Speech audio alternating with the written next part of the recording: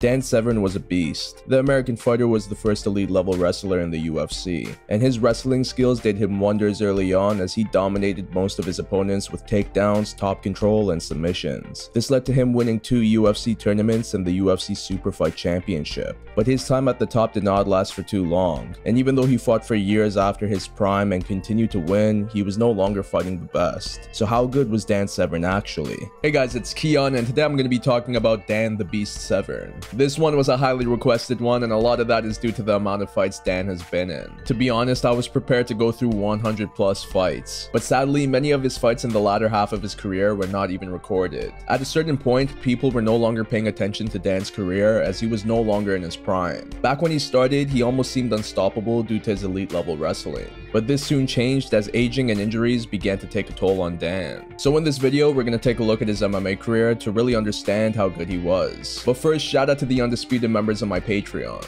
They get the extra perk of a shout out before each video, but even the interim members get early access and video to the Kiiyon Kimura podcast. And as always, the money goes to charity. Now let's get to it. Dan began his MMA career on December 16th, 1994 at the age of 36. Prior to his debut, he was an amateur wrestler, which led to a career in pro wrestling. He also gained experience in judo, sambo, and jiu-jitsu before he entered the UFC 4 three-fight one-night tournament. In the opening round, he fought Anthony Macias Dan was ragdolling Anthony around and this included two huge suplexes. This led to Dan getting a hold of his back where he locked up a choke that forced a tap. In the semifinals, he fought Marcus Bossett. Dan brought the fight down and locked up an arm triangle choke that forced a tap. In the finals, he fought the UFC 1 and 2 tournament winner, Royce Gracie. Dan absolutely dominated for the entire fight by securing takedowns and maintaining top control. But at the 15th minute, Royce locked up a triangle choke off his back that forced a tap, handing Dan his first defeat. He came back three and a half months later to fight in the UFC 5 one night three fight tournament. In round one, he fought Joe Charles. Dan brought the fight down right away, and after some time above, he locked up a rear naked choke that forced a tap. In the semis, Dan fought Oleg Taktarov. Dan immediately brought the fight down and connected with big shots from above. This opened up a cut on Oleg's face, which forced referee Big John to stop the fight. In the finals, Dan fought Dave Beneteau. Dave landed some big shots in the clinch right away, but then he got taken down, which led to a key lock by Dan That forced the tap, making Dan the UFC 5 tournament winner. This led to a shot at the inaugural Super Fight Championship. His opponent was former King of Pancrase, Ken Shamrock. This was the battle of the wrestlers, and with Dan trying hard to secure a takedown, he was exposed to getting his neck locked up in a guillotine by Ken, which forced a tap. Following this defeat, Dan entered the Ultimate Ultimate 95 tournament. In the opening round, he fought Paul Varelans. Dan quickly brought the fight down and locked up an arm triangle choke that forced a tap. In the second round, Dan fought Tank Abbott. Dan put on an absolute beatdown as he brought the fight down and connected with a bunch of shots from above. But he was unable to finish the fight so by the end, he won by unanimous decision. In the finals, Dan fought Oleg Taktarov, making it their second meeting. Oleg had no answer for Dan who was dominating him everywhere the fight went. After after 30 minutes of action, Dan won by unanimous decision, making him the ultimate Ultimate 95 tournament winner. At UFC 9, Dan fought for the Superfight Championship. His opponent was champion Ken Shamrock, making it their second meeting. This fight wasn't very eventful as both men were not allowed to headbutt or throw punches due to the laws that the UFC event had to abide. So the two circled around for most of the fight and also had some moments on the ground. But after 30 minutes, Dan was awarded with the split decision, making him the new Superfight Champion. At a valet 2 judo event in Japan, Dan fought Doug Murphy. Dan brought the fight down and after some time on top, he locked up a key lock that forced Doug to tap. Two months later, Dan fought Dennis Reed. Dan won the fight in round 1 with a neck crank. After this win, he fought Mario Neto. This fight lasted for 40 minutes and for the most part, it was Dan who was controlling the action with his wrestling. By the end, he won by unanimous decision. Dan picked up a submission win before fighting Stephen Goss. Stephen got slammed hard before getting locked up in a rear naked choke that forced him to tap. Dan returned to the UFC after this win to unify his super fight championship with the inaugural heavyweight championship. His opponent was Mark Coleman. Dan tried to bring the fight down, but his attempts were denied. This led to Mark connecting on the feet before he mounted Dan. Mark went on to lock up a scarfhold choke that forced a tap. Dan picked up a win and a draw before fighting Ebenezer Fontes Braga. Despite some early adversity on the feet, Dan was able to survive before bringing the fight down and connecting with shots from above that forced the doctor to stop the fight. Two wins later, Dan fought John Dixon. Dan brought the fight down and threw ground and pound that eventually forced the tap. He picked up another submission win before fighting on Pride FC's first event. Dan's opponent was Kimo Leopoldo. This was a back and forth battle on the feet for the most part. Dan had some moments with his wrestling, but he was unable to finish the fight.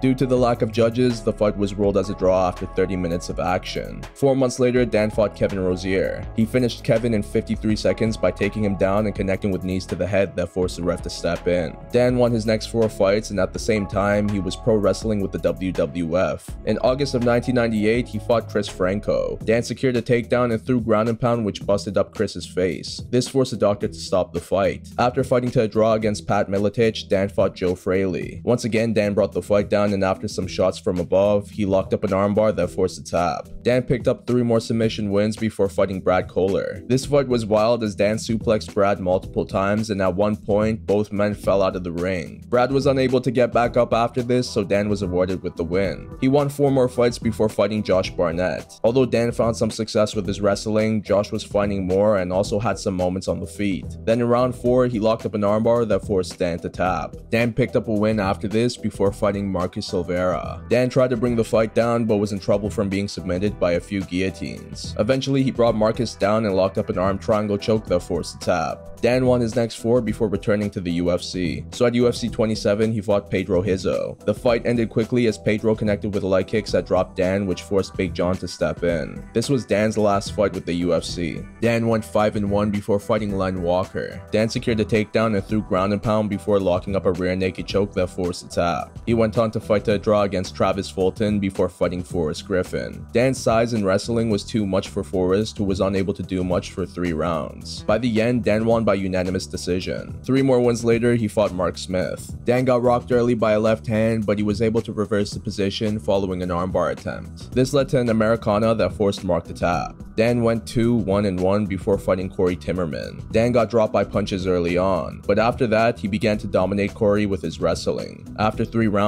Dan won by unanimous decision. Now after this, most of his fight footage isn't even recorded, and a lot of that was due to the fact that he was way past his prime at this point. He was 44 years old and nowhere near the force that he once was due to injuries and aging. Therefore, he was no longer a draw, so by this point, he was fighting on low tier cards. Regardless, in April of 2005, he was inducted into the UFC Hall of Fame. And since then, he fought for 7 more years before fighting one last time in 2012 at the age of 53. There were talks of him coming back in 2016, but nothing ever materialized. So after going 101, 19, and 7 in a career that saw him become the first and only Triple Crown champion in the UFC, how good was Dan Severn actually? The Triple Crown champion title was awarded to Dan since he won two UFC tournaments and the UFC Super Fight Championship, which really shows how dominant he was in the early days of MMA. Dan's initial run with the UFC lasted a year and a half, yet he was still able to accomplish so much in that period of time. It could have been three tournament wins had he not been submitted by Royce Gracie in the finals of UFC 4. Regardless, he proved that he was one of the best fighters in MMA back in the day, and a lot of that was due to his wrestling. In fact, he was the first world-class wrestler to fight in the UFC, which is huge as wrestling is the most dominant style of fighting in MMA today. And that dominance all started with Dan who was levels above everyone when it came to grappling. He brought the fight down with ease and held his opponents on the floor without any troubles. He wasn't a ground and pound expert like Mark Coleman, but his submission skills were deadly. What made Dan's offense so effective was his size and strength. Especially in his prime, he seemed impossible to stop. But I have to admit, his stand-up was non-existent. He was not good on the feet when it came to attacking or defending. And honestly, he never really improved that area of his game. Which is a shame, but it also shows how dominant he was only with his wrestling. And that's been a reoccurring theme over the years with wrestlers in MMA. The only difference is that now they are becoming more well-rounded. But it was Dan who was the first to display how dominant a fighter can be with good wrestling. And he proved this with two tournament wins and a super fight title. Had he retired after his run with the UFC in the 90s, there is no doubt that he would have still been a Hall of Famer. But he decided to continue to fight afterwards. Personally, I thought he should have called it a career after his defeat to Pedro Rizzo at UFC 29. It was a quick defeat that showed that there was a new age of heavyweights on the come up. And with him being 42 at the time, it was clear that along with all the injuries, Dan wasn't going to be able to compete against the new best heavyweights in the world. And that showed in his career after that defeat as he was no longer fighting top level fighters. Yes, he was still getting wins and never lost more than two fights in a row. But these fights weren't for any major titles and most of his opponents were either not very good or didn't have much experience. But I have to admit, admit, the longevity of him staying active is what really impresses me aside from his early UFC accomplishments. He fought 127 times. That is an insane amount of fights. On average, he fought 7 times a year. In 2004, he fought 12 times. And his quickest turnaround was 6 days with the first fight being in Japan and the second one being in the US. Despite the level of competition at times, this is impressive considering how many injuries fighters sustain, especially for Dan who was in his 40s for most of these fights. Plus, Dan was also taking damage in pro wrestling. His body truly went through hell and back, and I believe his style of fighting which saw him not take too much damage due to his superb wrestling is the reason for this. But what impresses me about all of this is that he made his debut at the age of 36. Had he started earlier, not only do I believe he would have had more fights, but he also would have accomplished way more. Regardless of his time at the top being short, he made a huge impact on the sport and proved that even after his prime, he still remained as a badass for years. That's why I would give his MMA career a 9 out of 10. He stayed in the game for so long even though he had nothing more to prove. And I don't care what the degree of competition was, 101 wins is not easy. Because most fighters call it a career when the spotlight is no longer on them. But for Dan Severn, he kept going because he loved being a fighter. My name is Kiiyon and this is my take on Dan the Beast Severn. Do you agree, disagree, or have something else to add?